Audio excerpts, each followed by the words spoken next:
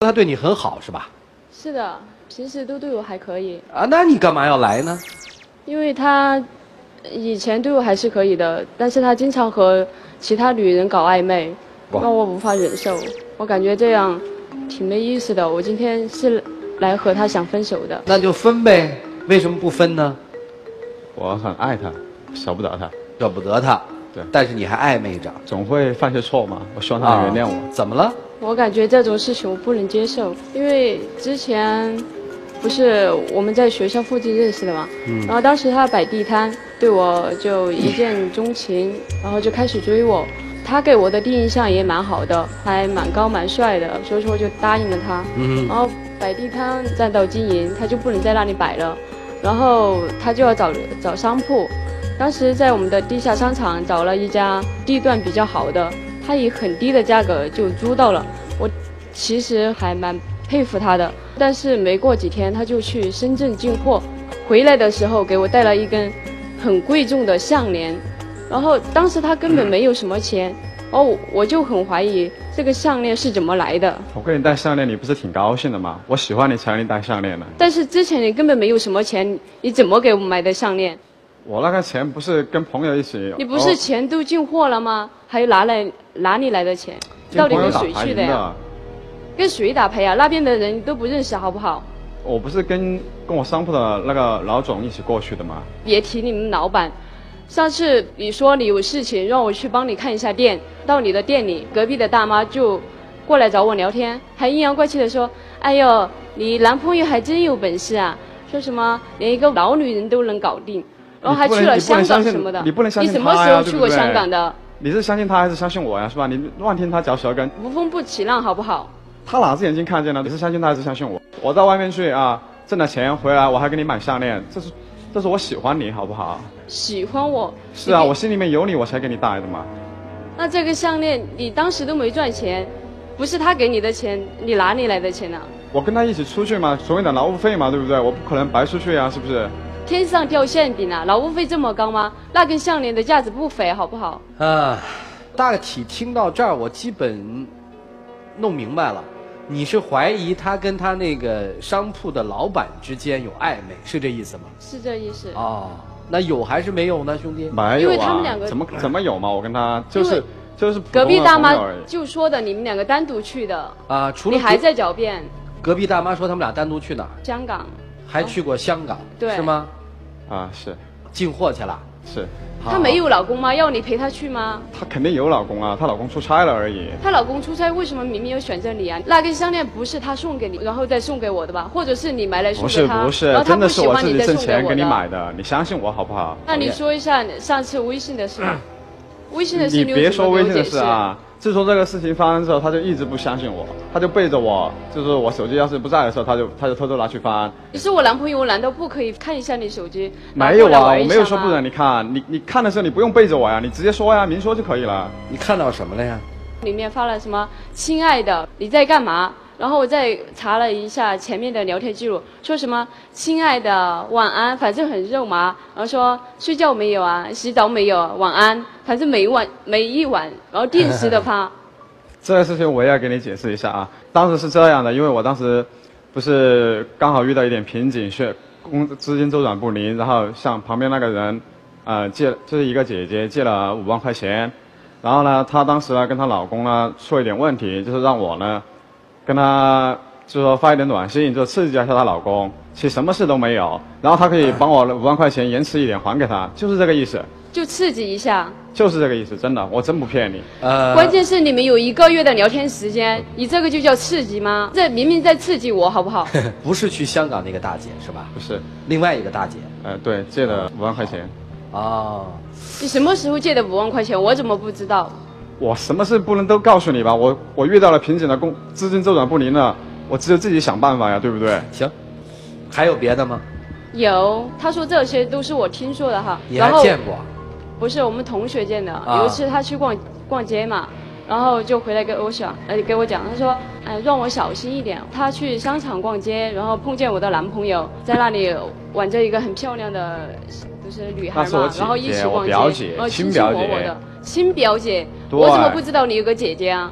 你的亲戚我见朋友我都见的差不多了，怎他么我不知他在道你有外地个姐姐？打工，好不容易才回来一次。那当天你为什么不约我一起？我给你打了我是你的女朋友，你应该带我一起啊，让我知我给你打了。电话的，你当时正在上课，然后我就想把，你马上就要过那生了，你为什么不告诉我？然后我就让他陪着我一起去给你买生日礼物，因为不是前一段时间你老是因为那根项链跟我两个吵架，这次嘛我就想着让我姐姐帮我参考一下，另外再买一个礼物给你一个惊喜，所以说就瞒着你没告诉你，是表姐吗？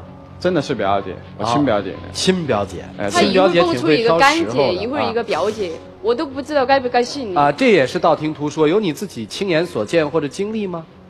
有啊，就是有一次我的手机突然响起了，然后我接电话听的时候，一个一个大概三十来岁的女人就喊我出去，叫我去见一面。我刚到约的地点，刚坐下，那个女的很直接就说：“小丽现在的事业正在起步当中，然后我现在还是学生，不能帮助她，然后叫我离开她。”当时就很偶像剧的一个情节发生到我的身上了，然后递了一张卡给我，嗯就是说这张卡嗯给我，只要我和他分开就可以了。然啊，后我我当时没接，我就想问什么样的一个女人可以为了你递一张卡给我？你们之间到底有什么？什么都没有，你别我当时很生气的都走了。你知道那个人哈，我知道，是一起去香港那个吗？是，哎呀，很厉害呀！什么关系？就是朋友关系。朋友关系，朋友关系，他为什么拿钱让我们分开呀、递一张卡给我什么意思啊？他帮你让我们分手吗？什么朋友关系啊？就是为了拆拆散我们吗？来，姑娘，我有几个问题问你，我不问他了哈。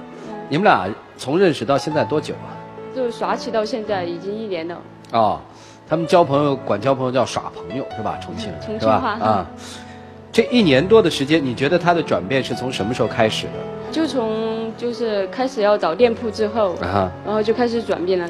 其实以前对我还是蛮好的，嗯反正我每次下课他都会来接我。嗯，自从找到商铺后，他就以各种理由说什么忙不能来接我啊，反正很少没来接过我了。你现在的想法是要离开他，对吗？现在的还是想跟他继续交往，把这些事情搞清楚？我现在的想法是想分手。刚才我们聊过，你说你不想分开，对吧？对，啊，而且其实我做这么多都是为了他，不，那你给我解释解释，为什么你做这么多都是为了他？因为怎么叫为了我？你这个出轨可能可能这个男生和女生的想法可能还是不一样，嗯因为毕竟我才二十多岁，对吧？嗯现在吃点苦，为以后的将来能够更好的发展，先有自己的事业，我觉得这样没什么错。啊而且如果说我身边周围有这样的，你有事业可以啊，为什么你要借借着其他女人往上面走？我有这样的资源啊，我为什么不哦，在意？资源就是陪人家，然后从中获取我没有那谁知道我没我没有在你身边？每次你出去说什么深圳、香港的，我都不在现场，我怎么知道？你在读书而且你每次时间，对不对？出去就是和那个女的一起的，她是我老板，而且当时约我出去的时候，呃，三十几岁那个女人说你们之前一直在一起，她说其实是她不介意我的存在，之前才所以一直没有找我。你们多久开始的？是我之前吗？还是我之后？你真的太有能耐了。呃，想明确几个问题。